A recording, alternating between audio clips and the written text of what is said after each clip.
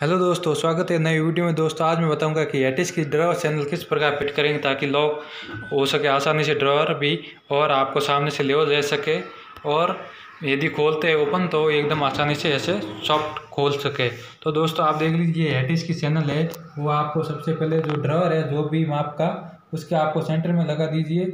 ये एटिस की चैनल है और कोई भी चैनल है तो वो ड्रॉवर है आपको। लगभग जितना चैनल है, उस हिसाब से आपको वो कम बनाना है।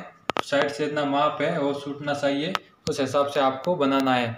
उसके बाद यदि आप सेंटर में लगा दिए, और उसके बाद वापस ये चैनल है, बाहर की बॉक्स में फिट होने वाले, इसको डाल के ऊपर से देखना है कि यहाँ से लगभग कितना माप रहता है। उसके बाद प्लस आपको बॉक्स के अंदर कितना माप रखना है, वो भी आप इसमें ऐड कर सकते हैं।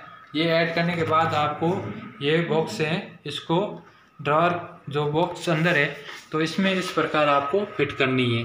तो नीचे से इतना माप छोड़ देना है नीचे से नहीं, सॉरी, ऊपर से जितना माप रखना है और वो ऊपर माप वैसा, उतना माप छोड़ने के बाद इसमें दो स्क्रू फिट कर सकते हैं। इस प्रकार आपको और इसके पीछे पैकिंग भी दे के थोड़ा इधर उधर भी कर सकते हैं। और इतना माप छोड़ने के बाद यदि आप फिट करेंगे तो ये आप देख लीजिए, ये ड्रॉर है, ये आपको आसानी से लॉक भी हो जाता है और फिट भी आसानी से हो सकता है। तो दोस्तों, ये थी नई जानकारी, ऐसी नई जानकारी के लिए चैनल को सब्सक्राइब ज़रूर करें और वीडियो को लाइक करें।